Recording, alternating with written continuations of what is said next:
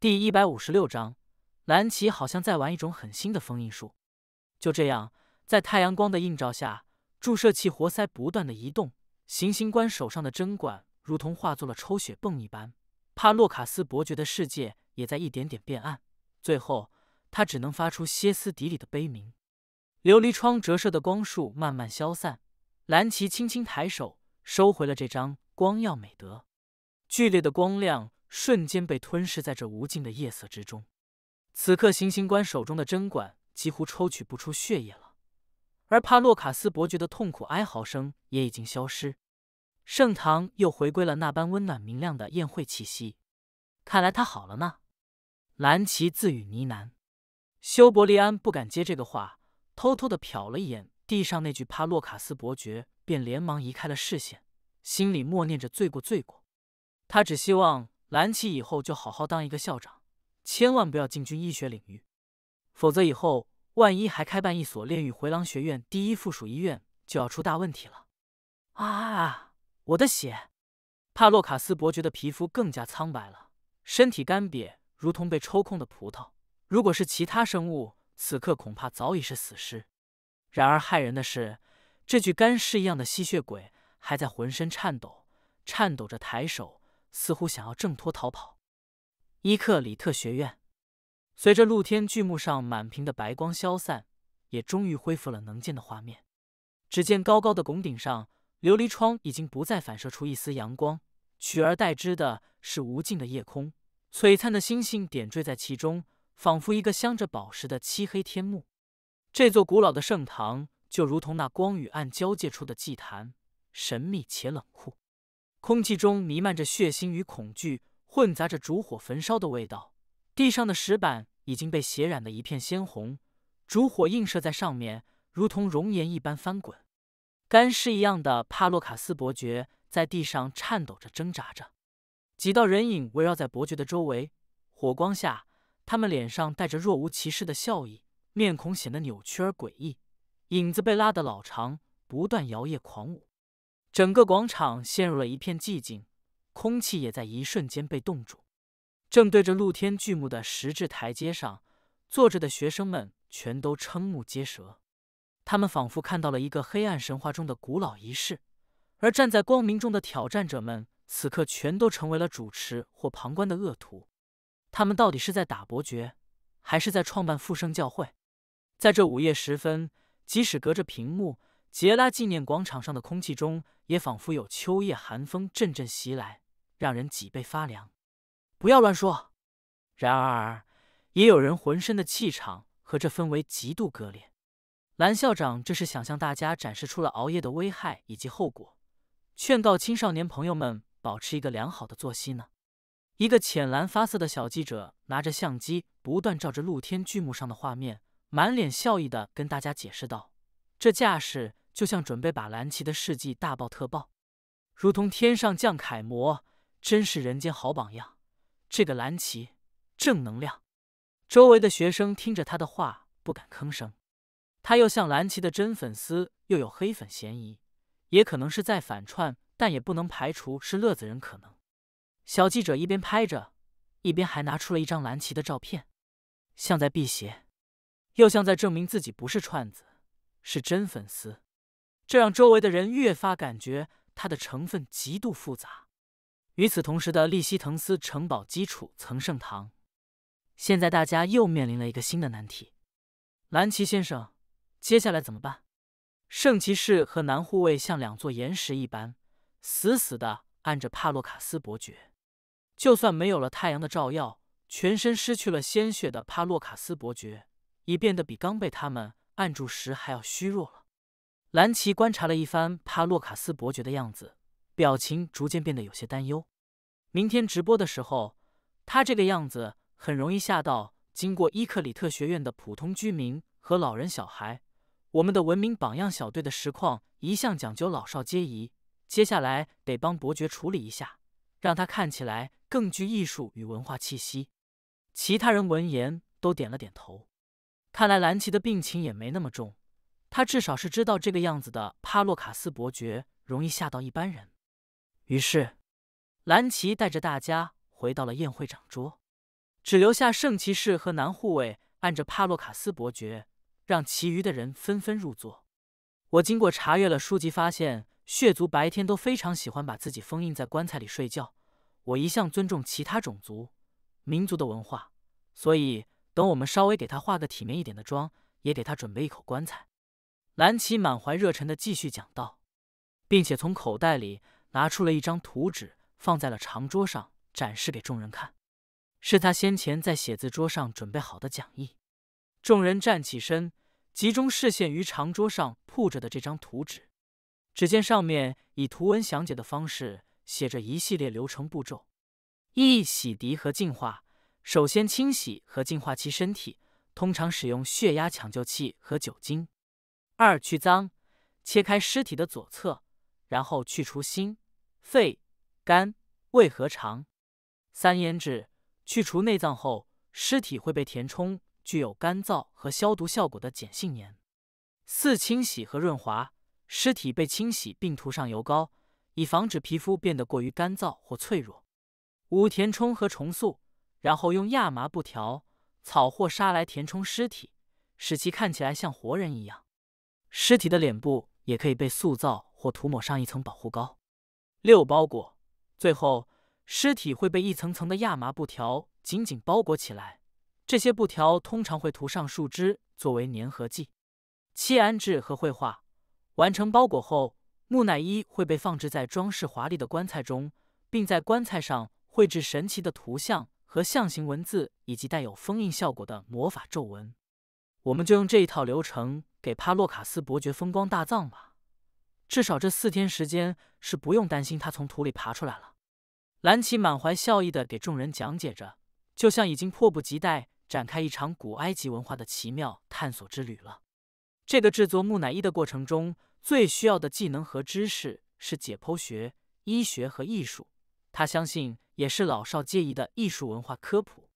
而且，其实蓝奇还挺希望能够拍摄到木乃伊从棺材里面爬出来的样子，这样就说明以前在老家看的那些科幻电影不是假的，木乃伊真的能复活。圣堂里变得鸦雀无声。尽管其他所有挑战者听懂了蓝奇的教学，也知道确实会有效。但这对他们来说有点过于冲击了。蓝奇，他好像在玩一种很新的封印术，无论是在人理层面，还是艺术层面，亦或是在这个时代的认知理解局限性上，蓝旗都太过超前了。推本朋友的书简介：江湖上都说那国公府世子苏继明阴险狡诈，玩弄人心，无人能及。自他入世以来，这江湖是一刻不得安宁。好在正道早已派人前去围剿此人，不出三日便能还这天下一个朗朗乾坤。看着外界传闻前来暗杀他的剑仙小姐，与他身上剑心通明的命格，苏继明沉吟开口道：“做我门下一条走狗，便放你一条生路，如何？”以窃取剑心通明命格碎片一，好好的江湖，怎么就成了这种游戏呢？本章完。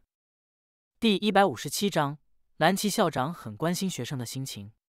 利希滕斯城堡基础层的圣堂里，蓝旗给大家带来了一场生动形象的手工课，内容是三岁小孩都能懂得木乃伊制作流程。在让神官把抽出来的伯爵之血干净的封存好之后，接下来蓝旗便开始了指导大家的工作安排。首先，商会的三人负责打造装木乃伊的棺材，用城堡四楼的铸铁室即可。神职人员们负责伯爵的优化，蓝奇他们会把明天的活动和餐饮筹划准备好。今天晚上大家还需要熬夜加一加班，等干完活就可以一起开心享受这个美好假日了。虽说经过了这非常充实的一天，所有人都感觉有点累，但是一想到后面还有四天可以唱完，就觉得充满了精神。血，把我的血还给我！帕洛卡斯伯爵的声音沙哑而微弱。像是引发了一般的皮包骨男子，所以说熬夜危害性真是极大，竟让他如此痛苦。帕洛卡斯伯爵喜欢熬夜，我们为了纠正他的不良习惯，今晚也得陪着他一起熬一会儿了。正所谓害人又害己。兰奇看着地上还在颤抖的干尸帕洛卡斯伯爵，不禁感叹道：“修伯利安欲言又止。”他总感觉帕洛卡斯伯爵的痛苦并不完全是由熬夜带来的。蓝奇先生，既然血族有着不死性，那么他们即使无限熬夜也不会死。所以以后遇到不肯调整作息的血族，是否可以先让他们试试熬上十天半个月不许睡，借此帮助他们自己感悟到良好作息的重要性？商会少爷马上就开始举一反三了，在一旁向蓝奇提问。很正确，蓝奇欣慰的颔首。正所谓得无常师，主善为师。商会少爷恐怕已经领悟到了以德服人的真谛。修伯利安看他俩一个敢教，一个敢学的样子，感觉正常人又少了一个。原本整个下午，商会少爷一直在划水，都没说几句话。修伯利安还以为他是受到蓝奇影响最小的人，没想到开口就是重度感染。窗外的世界仍处在深深的漆黑之中，城堡的庭院和更远的山林都隐匿于夜色，只有月光照亮了他们的轮廓。利希滕斯城堡二层关押着复生教徒的二零二号卧室，格外沉寂，空气里充满了沉甸甸的铁锈味和血腥味。那富丽堂皇的装饰，地板、墙壁上都沾满了飞溅的血迹，红色的、棕色的、黑色的。每一种颜色都代表着不同时间的痛苦。房间的中心，一位娇小的少女昏迷在椅子上，铁锁、铁链和镣铐将她的身体紧紧束缚，无法逃脱。他的衣物像被野兽撕裂过，肩头已破烂不堪，原本的神官白袍已被近乎染成一片又一片的深红。那些血迹的源头，无非都是他身上累累的伤痕，每一道都深入肌肤。记载着刻骨铭心的记忆，像被严寒中的风雪侵蚀过，苍白至极。大腿上的伤口恶疾未愈，犹如一条随时会淌出鲜血的病态红线。深夜中，天空的乌云似乎飘过了一块，让微弱的月光照进了卧室，照亮了少女的面庞上。被俘虏的复生教会女神官眼睛紧紧闭着，像是在梦里，也承受着难以描述的痛苦与折磨。突然。楼下传来了微弱的动静，轻微的铁链碰撞声，木质楼梯扶手的吱呀，还有那若有若无的谈话声。这些微小的声音像是一把钥匙，慢慢的打开了他的意识之门。他的眼皮开始轻微的颤动，慢慢的揭开了昏迷的迷雾，意识在黑暗中慢慢浮现，逐渐清晰。他记得自己好像来到了一场名为“盛唐恶徒晚宴”的影视界。他是怀揣着背叛并杀死挑战者们任务的血族眷属，要给予其他挑战者们最残酷的心理和精神折磨。然后，再然后，他不愿意继续想下去了，像噩梦惊醒般，他猛然睁开了沉重的眼皮。微弱的月光照进瞳孔，都让他感到分外刺眼。当他的意识完全恢复，房间里的一切细节都显得如此清晰，他可以感觉到。身上的冰冷锁链和被剥夺走的自由，耳边微弱的风声，还有身上那刺骨的剧痛。那双曾经明亮的蓝眸，如今无光无神，只有深深的疲惫。伊克里特学院真是一群令人难以想象的畜生，什么事都干得出来。女神官想要出声，肺部却如同被利剑划破，粗重而又断断续续的呼吸声，如同风吹过沙石，发出沙沙的声音。痛苦的轨迹已经从她的身体中飘出，化作空气中飘散的血腥味。该死的东西！尽管从他被堵住的嘴里发出的声音微弱而混淆不清，但充满了无尽的怨恨，弥漫在昏暗的房间之中。少女的面孔在惨淡的月光下如同石像，僵硬而死寂。突然，门外愈发靠近，逐渐清晰的步伐声破碎了房间的寂静。如同从远方传来的风铃，那是属于胜利者不急不缓的步伐，就像准备着享受最后一个猎物一般，从容无比。毫无疑问，血族伯爵终于来了。听着门外的声音，女神官竟然嘴角上扬，仰头笑了起来，笑得如同一朵盛开的疯癫之花，笑声凄厉而空洞。他明白，他的死期已经到来，但这些苦痛和屈辱也将会得以结束。纵使他现在心里仍然无比畏惧着那三个神职人员，但现在知道折磨了自己那么久的他们已经死了。包括那个最该死的蓝旗威尔福特。他只觉得畅快。他慢慢的抬起耷拉着的脑袋，让自己的视线对准了那扇门，那扇血族伯爵即将踏进来的门。不知为何，他现在竟一点都感觉不到血族伯爵有多恐怖了。咔嚓，在这门锁已经响起金属扭转声的最后的一刹那，他没有任何畏惧，反而是一种解脱的感觉。伴随着笑声，他的眼角开始湿润，那是苦涩而释然的泪水。然而下一秒，打开门的蓝奇手上拿着审讯笔录，疑惑的看着他：“少女，有什么开心事能和我分享一下吗？”本章完。第一百五十八章：蓝奇潜入复生教会的第一步。在他的笑声还在空气中回荡时，门已被轻轻推开，一个气质如太阳般温暖的身影出现在了门口。他笑声如同被利刃切断一样，戛然而止。那个身影在走廊昏暗的灯光下显得模糊不清，但他知道，那翠绿色的温和瞳孔绝对不属于他所期待的死神。复生教会女神官的眼神瞬间僵住，就像一尊石像，表情呆滞，就像不理解为什么来到的不是伯爵。伴随着蓝奇带着修伯利安走进房间，走廊上的冷风席卷而入，吹得女神官全身寒战。就算不知道。现在到底是什么状况？他只知道这是一场无法醒来的噩梦。不要怕，我不会伤害你的。蓝奇的声音很体贴，在这寂静的夜晚里却清晰可闻。然而，那句话像一道闪电刺入了神官少女的心中，她的身体猛地颤抖了一下。这个诡异的家伙说越温柔的话，就越是让人害怕。伯爵，原来伯爵还没来吗？女神官被束缚的嘴中含糊不清的每一个音符都在空气中震动，仿佛宣告着她的绝望和焦急。他懂了，只是时候还未到，再忍一会会儿，他就能等到伯爵来把这群人全部杀死了。顿时，他又癫笑了起来，那种笑声疯狂而苍凉，让休伯利安都心中一颤。休伯利安搬着桌椅进来。很快就把刑房变成了看起来稍微正常一些的审讯室。他打量着房间斑驳的血迹，难以想象三个神职人员到底被大爱诗人培训成了怎样的刑讯官，以及此刻女神官的精神状态。蓝奇暂且没有要告诉女神官真相的意思，他只是保持着礼貌，面色平静地坐在了女神官对面的椅子上，打开手上的笔记本，准备做记录。没过多久，大爱诗人。就哼着旋律古怪的小调，晃悠进了房间。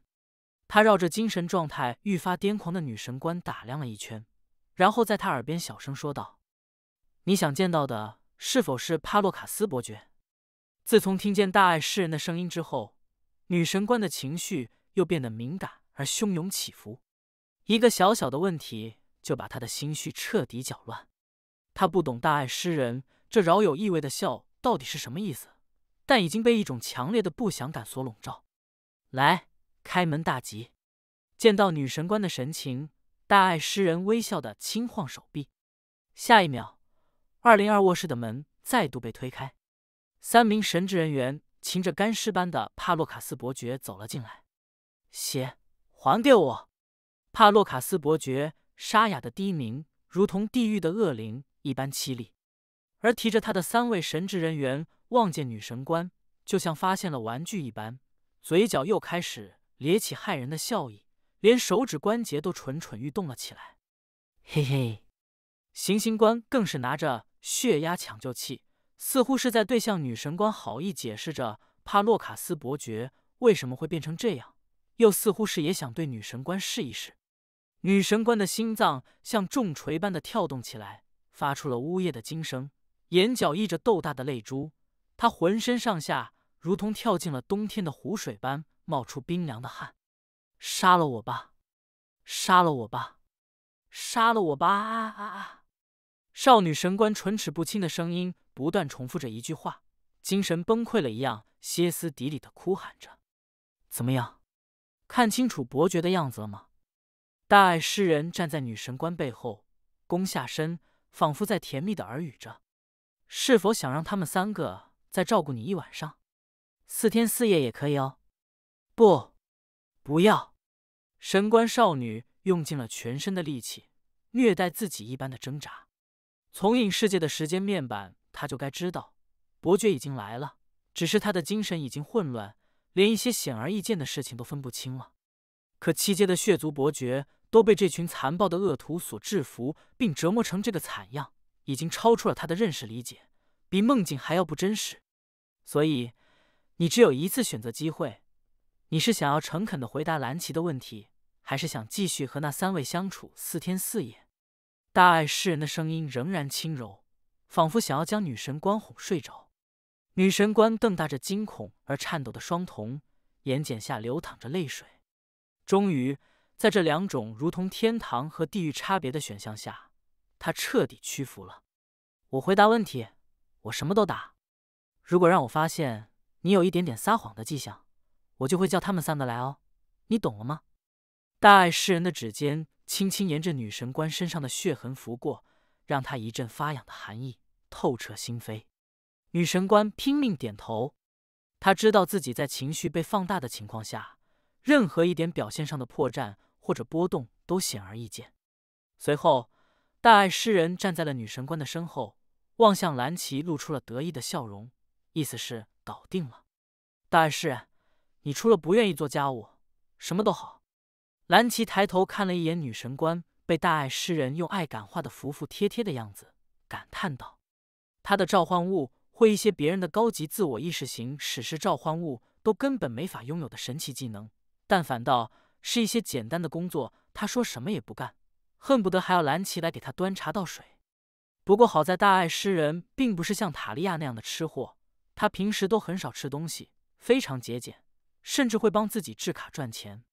咧，除非你愿意把我二十四小时放出来，我可以考虑帮你分担一半的家务。大爱诗人向他吐了吐舌头，我必须为全校同学的安全考虑。蓝奇丝毫不为他所动，他很清楚，大爱诗人是不能在伊克里特学院里随意放出来的，而且自己的法力回复速度也没有高到能让大爱诗人一直待在外面自由生活，并没有多和大爱诗人闲聊。蓝奇稍微给了女神官一点缓过气的时间，他终于语气温和的开口问道：“今天天色不早了，我们简要点谈，很多具体的事情，我之后再来问你。”但只要你如实回答，我保证你不会再受到任何伤害了，好吗？女神官拼命点头，就像已经被驯化了一般。此刻的蓝奇在他眼中看起来像唯一的天使，尽管他清楚的知道眼前的这个家伙才是最恐怖的源头，但他竟无法控制自己的内心对他产生莫名的强烈依赖。只要他能不再伤害自己就好了。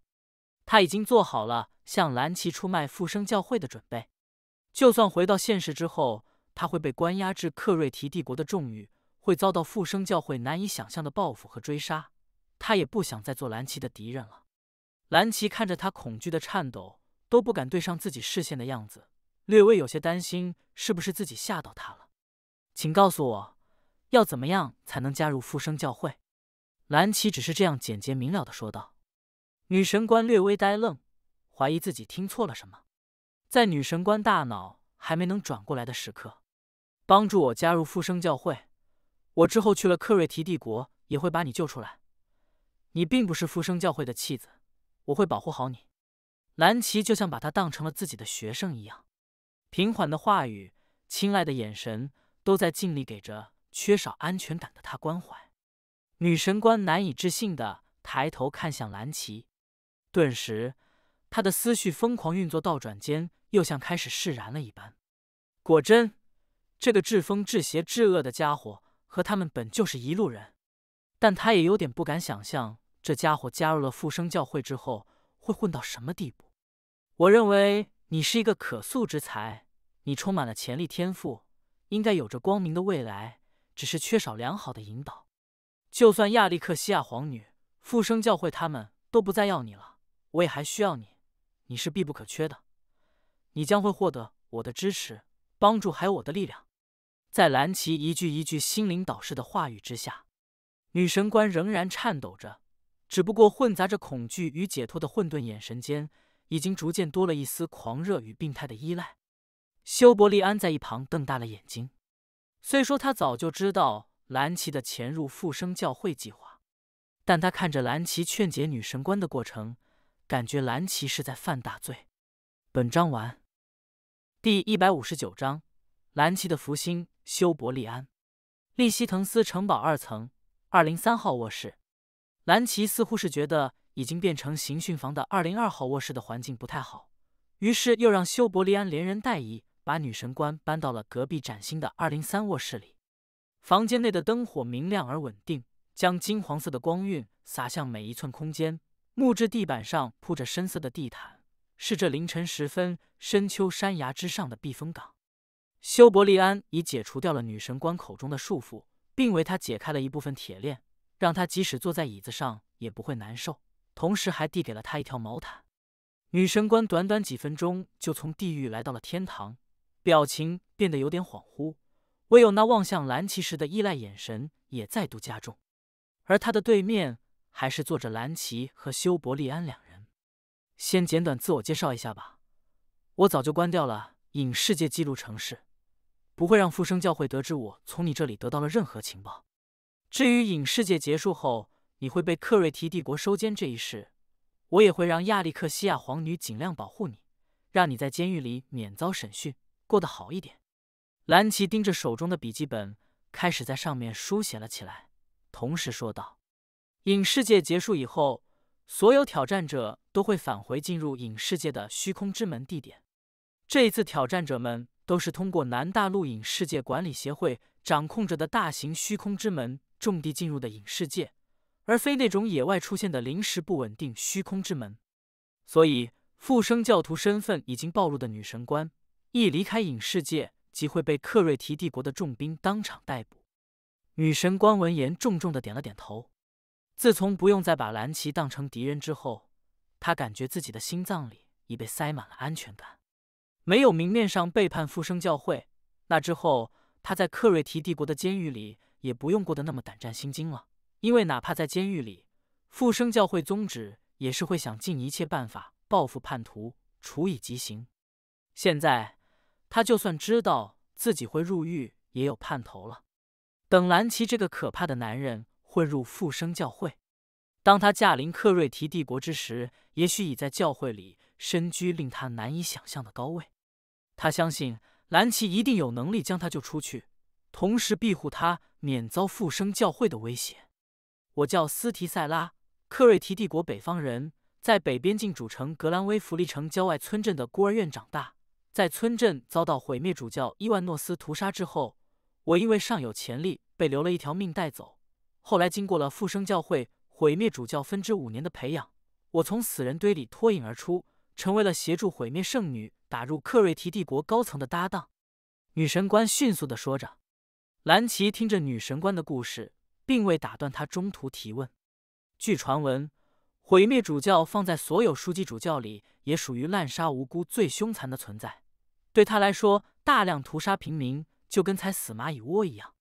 甚至伊万诺斯经常喜欢做出一些违背逻辑的事情，不需要任何理由，他就会把与他相谈甚欢的平民们给全部残忍焚尽，其凶名甚至高过北大陆的寂灭主教阿斯克桑。我们想要混入毁灭主教手下困难吗？蓝奇指了指自己和修伯利安，向女神官斯提塞拉问道：“复生教会的十个分支分别从属十位枢机主教，比如上次炼狱回廊学院最后遇到的通缉犯邪教徒利莱特，就是所属修府主教的教徒；而这次遇到的毁灭圣女亚戴丽丝和女神官斯提塞拉，都是信奉毁灭主教的教徒。虽然同为复生教徒，但却为不同的主教效力。”行事风格也会有明显区别，有时候一些关系不太好的主教之间，教徒们甚至还可能会发生内战。等结束了这场影世界，蓝奇回到现实之后，冬季假期的目标便是去北大陆请教原初石板封印的持有者寂灭主教阿斯克桑，完成寻访石板持有者的课题报告。如果能先一步混进毁灭主教的分支，去北大陆。直接转投到寂灭主教分支下，便能减少很多的步骤与麻烦。很困难，对于你们这种小有名气的年轻人，复生教会会格外警惕，所以我建议你们抓到复生教徒，并替换掉其身份。”斯提塞拉回答道。修伯利安本就是复生教会猎杀名单中的红名人物，而蓝奇经此一役，坑害毁灭圣女这一战绩，就足以让他成为和修伯利安相当的红名。但你应该知道，赫顿王国很难找到的复生教徒，除非你这里能给我一些关键情报。蓝奇听着斯提塞拉的回答，神色平静地看着他。首先，赫顿王国本来就是命运女神教会的一大据地。曾展开过多次清扫教徒的行动，赫顿王国也是南大陆诸国里对邪教打击最狠的国家之一。如今，就算是赫顿王国境内的复生教徒，也一定是类似于毁灭圣女亚黛丽丝或者女神官斯提塞拉这样拥有着天衣无缝身份的精英潜伏者，非常难以抓到。有机会的，亚洛兰王国近两天会有一个非常危险的家伙抵达伊克里特。如果这一次影视界没能碰到或杀掉修伯利安公爵小姐，他就会不惜一切代价在校园里制造一场意外，将公爵小姐给杀掉。斯提塞拉注视了修伯利安一眼，然后神色凝重的说道：“修伯利安闻言，尽管表情仍没有变化，但他的心跳却无法抑制的加速了起来。他没想到复生教会这次猎杀自己的行动这么坚决，似乎是有谁。”必须要让他死。原本已经逐渐因为蓝旗消散掉的恐惧与悲凉，再度弥漫上了修伯利安心头。他也逐渐认清了，在自己变强之前，可能会永无宁日这一事实。先前每一次，若身边没有蓝旗，都是神仙难救的死局。虽然看起来蓝旗都化解的风轻云淡，但在这么增加强度下去，即使蓝旗再强，说不定也会被他害死。他逐渐眼神暗淡的低下了头，每次都是他招来灾祸，然后害得蓝旗也被牵连进来替他扛。蓝旗越是从来不责怪他，还把他当成了挚友，无条件的保护他，他就越发愧疚的无以复加。他就是一个纯纯的拖累。本章完。第一百六十章，蓝旗和修伯利安的福祸相依。窗外，寒秋月色洒在古老的石墙上。而房间里的灯火将冷寂的寒意隔在了外面。无论利希滕斯城堡外萧瑟的山风怎样作响，夜色多么深沉，温暖的卧室总是一如既往的坚韧而稳定。房间里沉寂了片刻，兰奇听完女神官斯提塞拉的情报，便拖着下巴思考：近两天会抵达，而且能够在校园里制造意外，怎么听起来就感觉时间点这么微妙？你说的这个危险的家伙？不会就混在亚洛兰王国学术访问的团队里吧？兰奇向斯提塞拉问道。这个时间点不就和亚洛兰王国学术访问团队抵达的时间重合了吗？身份可疑的外来者想要在强者如云、安保严密的伊克里特学院里作祟，分分钟就会被盯上，非得有一个光鲜亮丽的堂皇身份，才好谋划好一场完美的行凶。兰奇总感觉斯提塞拉好像透露给了他一个相当了不得的情报：使用隐藏在本地平民中的教徒潜入大神官洛伦所在的伊克里特学院行凶，危险性相当高。万一引发了追查，很可能一整条线都会被连根拔起。但亚洛兰王国就不一样了，若是亚洛兰王国来访的学生里出了问题，首先亚洛兰王国这边会背锅，不一定能牵扯到复生教会。甚至还能破坏两国的信赖与关系。赫顿王国方面若想深入纠察，必然会涉及到国际问题。不管怎么样，都会起一些摩擦。自从持有原初石板案的米盖亚·阿兰萨尔公爵失踪后，赫顿王国需要靠原初石板的持有者大神官洛伦防备原初石板的持有者毁灭主教伊万诺斯，而亚洛兰王国靠原初石板。再生的持有者不死剑帝朱利安娜抵御原初石板腐蚀的持有者修复主教法莫。如果修伯利安被杀死，成为了导火索，复生教会进一步暗中煽风点火，有的是办法让大神官洛伦与亚洛兰的王国骑士团团长不死剑帝之间本就紧张的关系更加恶化。届时，南大陆的这两大主教说不定会展开新的联合动作。这个事关南大陆动乱与阴谋的情报被审了出来，就算直接上报给洛伦院长，蓝奇也是立天功，十有八九。斯提塞拉神色凝重的承认道：“他把刚才这些情报透露，便是将性命全赌在了蓝奇手上。如果蓝奇直接把他卖掉，他必死无疑。但相应的，这个情报也足以抵得上蓝奇救他一命都不过分的价值。一切就看蓝奇的良心和能力了。”随即，斯提塞拉手上便出现了一张原本存放于灵魂空间的魔法卡牌，示意蓝奇可以将其拿走。复生之证毁灭，类别装备卡，品级紫色稀有，阶级零，效果复生教会的身份凭证，可由主教之证将其修改或升级。若持有者击杀主教，则将升级为主教之证，并解锁主教权限。备注：持有者编号正负，已加密。原来这就是复生教会的身份印章吗？蓝奇从他手上拿过了这张魔法卡牌，由于其是零费，所以先前搜刮他的魔法卡牌时也没被发现。斯提塞拉这种有着秘密任务、完美潜伏于现实的精英教徒身份信息都极其隐秘，除了他们的搭档或直属的主教，就算是其他主教也无从得知其信息。如果蓝奇能够抓获斯提塞拉这样的完美潜伏型精英教徒，窃取并顶替到隐秘而真实的南大陆教徒身份，再带着这身份混入北大陆其他书籍主教的分支。南北大陆通讯魔法隔绝，北大陆那边的主教如果不渡海过来召开主教会议，也无从验证他的教徒身份有任何问题。在你们学院里那个传递影世界匹配时间情报的家伙，我也完全不知晓其身份。但是能够使用通讯魔法，必然是至少六阶的存在，以及我会告诉你。这两次影世界，我们收到情报的准确时间推理和筛查就得靠你了。”斯提塞拉胆怯的补充着。“你放心吧，我不会让复生教会那边怀疑是你透露了情报。”蓝奇话音一转，严肃向斯提塞拉颔首承诺道：“等他回到现实之后，在伊克里特学院里便有了一项重要的本职工作。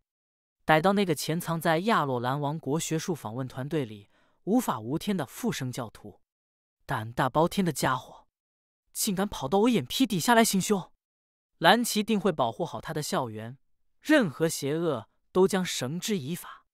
一旁的修伯利安迟迟低着头没有抬起，他感觉就算是蓝奇身上的气氛也变得沉重了起来。终于，声音轻的快要挥发似的，在他身旁呢喃道：“抱歉，蓝奇，总是给你惹麻烦。”他的话音满怀着数不清的愧疚。他不知道自己还要再这样把蓝奇拖进险境多少次。如果他注定要死去的话，那他唯一的愿望就是他一个人死就好了，千万不要害到蓝奇。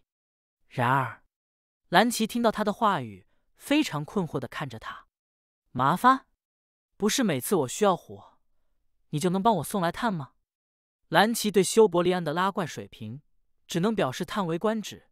每一次都能帮他拉到高质量的金币怪，而且到了现在，经过这次影世界的遭遇，以及和亚历克西亚皇女的交谈，还有从斯提塞拉这里获取的情报，蓝奇心中也明明有股预感了。越是确定有谁如今急切且坚定的想杀死修伯利安，蓝奇就越是确定了一个猜想：克瑞提帝国的血族和复生教会、米盖亚公爵的失踪谜题。未来会发生的威尔福特惨案，互相之间可能有着说不清道不明、千丝万缕的联系。血族完全掌控克瑞提帝国的时间，米盖亚公爵的遇害时间，威尔福特商会被灭门的时间，全都重合在了一起。而威尔福特商会又正是跨越赫顿王国与克瑞提帝国关键的跨国商会与运输渠道。事到如今，要说这几个事件之间没有关系，几乎是不可能的。原作剧情中，如果兰奇死掉了，没有人干涉伊克里特学院的入学考试，修伯利安也许在入学考试失败之后就死掉了。就算侥幸顺利入学，复生教会还是会用更加激进的手段将他杀死。总之，他绝不可能活到正片剧情的时间点。但修伯利安其实又是一个非常重要的人，是将魔族血族、复生教会这一切线索都串联起来的公爵之女。想杀死他的，必然是一个幕后黑手般的存在。这也说明，一年半以后，血族得以掌控克瑞提帝国，米盖亚公爵会死，威尔福特商会会灭门。这三个事件的发生，修伯利安的死很可能就是一个极其关键的拐点。如果以上的推测都是对的，那么蓝奇也可以确信，早在故事开始之前，会被灭门的笨蛋富少和会被追杀的公爵千金本就命运相连。帮他，其实早已是在帮自己。果然，好人有好报。修伯利安，我们必须把那妄图破坏校园、威胁学生安全的家伙给抓住，好好的感化一番。蓝奇此刻又化身为了学生会的好干部，言语间满是义不容辞的责任感。他将在无人知晓的地方执行一个隐秘而伟大的任务，默默的守护校园，守护国家，阻止复生教会的阴谋，并化解赫顿王国与亚洛兰王国之间的信赖危机。施了符一去，深藏功与名。啊！修伯利安愣神的注视着蓝奇那清澈而正义的眼神，不知道是他有问题，还是自己有问题。他很确定蓝奇现在不是在说客套话，而是满怀期待，他下次还能再引几个大家伙过来。修伯利安也逐渐发现一件事情：难道说自己招来的灾引到了蓝奇身上？就全部变成了服饰吗？这家伙的动机正不正义另说，但他一定是巴不得黑吃黑，吃到底。本章完。